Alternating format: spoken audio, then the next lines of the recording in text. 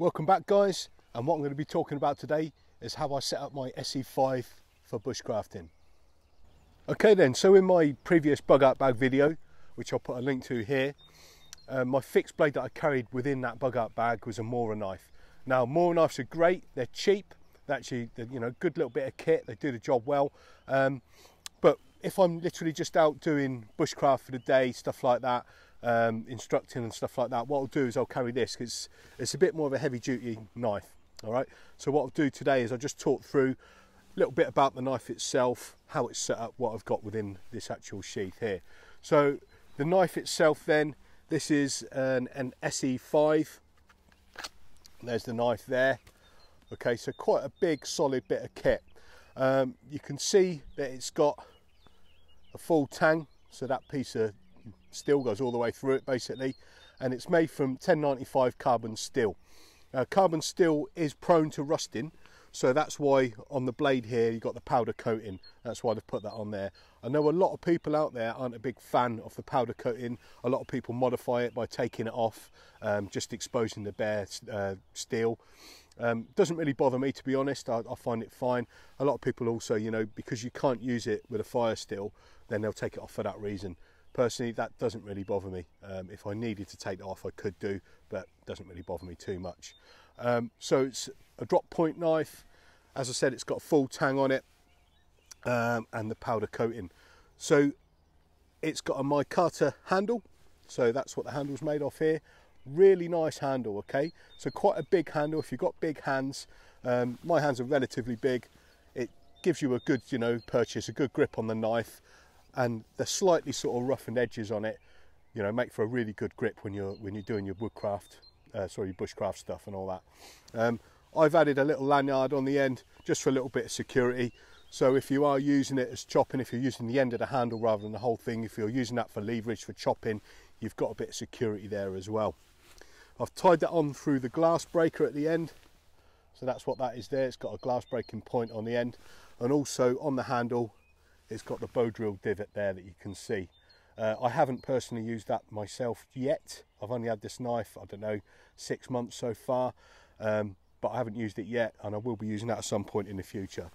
But not a bad little thing to have on there. When you are using it though, it needs to be in the sheath for obvious reasons. You don't want to have that knife blade sticking out as you're, you know, concentrating on spinning stuff around and making a fire. Okay, um, it's got jimping on the back of the blade there so some quite aggressive jimping there. So the reason for that is so you can get your thumb on there and actually get some purchase. So if you're doing a more sort of detailed tasks, making say feather sticks and stuff like that, you can get your thumb on there, you can get your forefinger on the front there, away from the cutting edge, and actually get some more leverage in there doing your more detailed tasks. Um, this type here then, this has got the partially, partially serrated blade that you can see there. I know a lot of the purists out there will be naysaying that, you know, and saying, oh, you know, I wouldn't do that. I'd have a pure blade, um, straight edge. But personally, you know, I do find that quite handy. Uh, cutting through rope and stuff like that, it's going to, you know, get through a lot quicker if you've got that on there. But you know, each to their own, yeah. Um, the blade itself, then, so from the actual, the whole blade is 13.2 centimeters, and the thickness is 6.5 millimeters, and you know, it's quite a hefty bit of kit.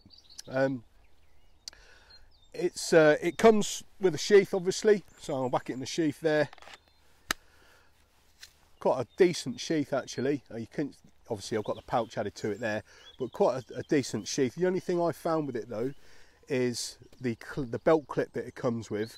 I'm not a big fan of those. You can it's obviously easy to clip it on either your trousers or a belt or something but what I'd rather have personally is a loop. So what I did with mine is I added a leather loop onto it and it kind of drops it slightly so it hangs slightly lower on your leg but not too low and also it gives it a positive you know loop to go through your belt. So that's that's how I've set mine up anyway. Um, you can see there then it's got the pouch on the front there. Um, I think they're a great little bit of kit. Um, you know you could put your fire kit in there you can put a small survival kit in there or whatever you fancy you know and that little pouch does come with a little tin. So I'm going to open up the pouch there and first thing I've got in here is actually my knife sharpener. So I've got a full knife and knife sharpening stone there, which is a mega little bit of kit. I think it's a good idea to keep that with the knife, isn't it? Because you've got it with your knife at all times then. Um, and then going into the pouch again, what I've got is the actual survival tin, small survival tin or tin that comes with that pouch, and I'll go through that in more detail in a minute. And then right at the bottom here, then what I've done is I've put some cordage right at the bottom of the pouch there, and I've just wrapped it in a bit of tape as well. That does two things: it keeps it nice and neat. I mean, it's wrapped up anyway, but it keeps it even nice and more neat. And you can use that for tinder and obviously lots of other applications as well. But I've got a fair whack of cordage there, and that's the sort of cub cord there. It's not paracord, it's about half the breaking strain of paracord, but it's pretty good. It's decent enough for making shelters and things like that, construction tasks. So decent stuff. So the actual tin itself then. So this is the tin that comes supplied with that ESEE pouch. Um, as you can see, it's quite small, um, but it's big enough for putting a, a, compact survival kit together or maybe a fire kit. So you could put in your, your pre-prepared tinders and stuff like that. Right, so the first thing I've got in the tin is these two Ranger bands. So two basically bands of rubber. and these can be used for a securing kit, you know, potentially helping to build things, you know, securing, say, the frame of a, a shelter or something like that. But also, the best thing these are for is for fire extenders. So once you've got some kind of flame going, um, to transfer it and to, to extend it, you can actually use a piece of this rubber and that will burn for a long, long time. Okay, so rubber's obviously good for that sort of stuff. The tin itself, then, what I've done is I've covered this in black tape. Um, not too much, but enough to sort of like provide me with a little extra bit of resource there. And as we all know, black tape's mega for lots of good stuff. So, you know, you can use it for tinder itself, you can use for repairing items, you know, all sorts of stuff. It's, it's just great kit, as we all know. So, got a length of tape there, and obviously, if I was going to be opening this up and just using something from the inside, I'd stick this on something to prevent the adhesive getting wrecked.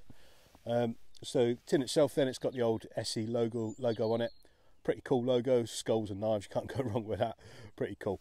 Um, so, going around the outside again, we've got some more tape. That's just basically to keep all the contents completely watertight. And again, you know, you can use that as a little resource of tinder or whatever. Um, on the bottom, I've put another strip of tape, just an extra bit of tape. I've used every sort of square millimetre of this for resources. And then there's the contents right there. All right. So first thing you can see is some snare wire. See, there's a, a fairly decent amount of snare wire there for setting your traps and stuff. There's a small amount of medication there so I've got some Imodium, which is good for diarrhea. Uh, then I've got some anti-inflammatories and some painkillers. Um, a couple of little tiny little mini Cyalumes there. So a little bit of a light, light, light source there. Uh, and then I've got one of these little expandable towel things. Okay, I covered this in my other um, survival tin video. These are great for lots of stuff. So you could use this for tinder, you could use it for you know cleaning out wounds and stuff like that, even potentially dressing wounds, things like that. Okay, but they're they're quite handy little bit of kit to have. I've got a NATO button compass there, which is an absolute bomb-proof little compass. As you can see, it's tiny, but it's it's actually you know it's a good bit of kit. Um, it's quite a solid built bit of kit, and you know you can um, hide this on your person as well. So if you were in some sort of E&E scenario, um, you could dig into your survival tin and, and hide this within your clothing quite easily because of the size of it. Okay, next thing I've got here then is a very compact fishing kit. So you've got the uh, the line wrapped around a, another couple of little Cyalumes there, little glow sticks. Then you've got a couple of lures, a couple of weights, and a, a collection of um, the hooks and also a couple of swivels in there as well. And that's all together in a, a small little bag. Uh, next thing out of here then this is some of the the tinder sticks. I forget what they call these things now. I think they're like called fire sticks or something like that. But I got that from the the Bath bushcraft shop. And it's basically it's like compressed cotton wool in uh, in some sort of material that helps it basically you know light easier and stuff. You obviously spread it out and great for starting fires Then this here is a compact little lighter. So I've got tape around it because this actually works by putting um, lighter fluid in it. So if you don't kind of seal it, it's not going to last too long. And you know, before you were to potentially go to a dangerous area or something, you'd want to make sure that it is kind of still operational. Yeah, so that's still working. Um, but yeah, that's just a little mini lighter basically, and um, as I said, you just want to make sure that's prepped before you do go anywhere to make sure it's it's still usable before you potentially went to an area where you might have to use it for real. Okay, next thing I've got is the obvious ferro rod. Can see I've used that a little bit.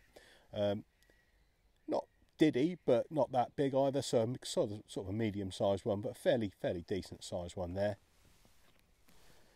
And then what we've got with that is the striker itself, and you know that might seem a little bit um, big to be putting in here, but to be honest, it's it's really thin as you can see, so it doesn't take up much space at all. And that's the key when you're going to be building something like this, is to be using tiny little items, nice and compact. So this here is a very very small uh, light. So this is by um, True, and basically you've got a tiny little light. You can see that against the size of my hand there. It's tiny, but it's actually it's not bad. Not a bad little torch at all. That, and you've got some spare batteries for it too. I think it's um, it's been sat in there a little while. The uh, oh yeah, I put the batteries in upside down to prevent it from going off. Yeah, so batteries in upside down. I did check this before I packed it, um, but yeah, just in case because it works by screwing the end and you know, making a connection. So if it was pressed inside the box, it could potentially go off. Um, so the batteries in are upside down, and there's a spare batteries there as well. So you've actually got a fairly decent little mini torch there. So you could be using that for, you know, finding your way through the forest or reading your map in the dark, stuff like that, or even signalling, you know. Okay, tiny little bit of fat wood, so not massive, but big enough to, you know, potentially start decent fires and stuff, give you a bit of a a head start if you was in conditions where the weather weren't particularly great. And this is some more uh, firelight material here. So this is called fire strip, and it's basically impregnated with you know firelighting material in there. Okay, on the bottom here, what we've got is some plasters. So to, again with the uh, with the other med stuff there, you've got a little little bit of first aid kit, and then here we have wound closures. So a little bit more first aid kit as well. So some basically butterfly stitches, wound closures. And then also with that we've got a couple more um, like small dressings basically. Obviously this is all compact right inside here. You have to pack these things out to get everything in.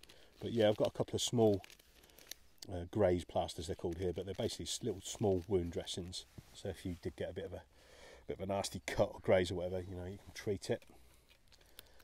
Okay, next thing in here then is a Fresnel lens. Okay, so another fire starting method if it is nice and sunny. They can use that to magnify the, the sun's rays to start a fire.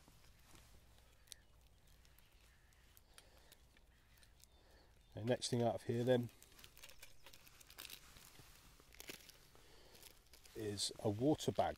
Okay, so this is one of those ones, a little bit like, well, the same type I had in my big um, water, uh, survival kit. And this holds a litre, and you can actually boil water in this, okay?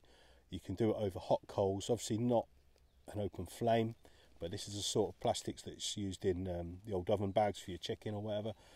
So you can actually boil water in this. So it not only contains it, you can use it for purifying it, and then linked in with that is purification tablets too. So I've got six purification tablets in there as well. Last thing I've got right at the bottom here then is some tin foil. Okay, so this is the non-stick stuff as well. So quite a big section of tin foil as you can see there. So you can use this for signalling, obviously it's nice and shiny, isn't it? Um, you can use it for cooking meat in, so wrapping meat or whatever, or even you know, like a potato or something, put it into the coals of a fire to cook it. um, and you could you could actually form like a little bowl out of it as well um, to put water in, whether that's just for washing, whether that's for cleaning things, cleaning out your meat and stuff, or potentially you know again cooking, but you'd have to be quite gentle with the cooking on something like this because it's quite thin uh, foil. So that's all the kit that's held within the tin right there. Alrighty, so that's all the gear there that's held within the tin. So going from the left bottom then, we've got signalling here. We've got quite a bit of fire starting kit here, so that's quite well covered. We've got fishing and trapping. Then we've got not a bad amount of medical kit here, water, collection, purification. And then on the outside of the tin itself, we've obviously got the black tape, the uh, full knife and knife sharpener, cordage, and then let's not forget the tin itself because that's obviously a useful resource as well. So you can use that for making char cloth, you know, boiling a small amount of water, that sort of stuff. You can also use that tin for signalling too because it's got the shiny underside. So not a bad amount of kit in such a small tin over here. Okay then, so that's it for today. What I've gone through there then is just how I set up my knife with my survival tin, the contents of it, why I carry it, what it's for. If anybody else out there has got some good ideas, different, you know, different looks at it, everyone's got their own ideas and their own approach, put them in the comment section below. Let's have a discussion about it. Thanks for your likes and follows. Don't forget to like, share, and subscribe, and we'll be seeing you again soon. Cheers.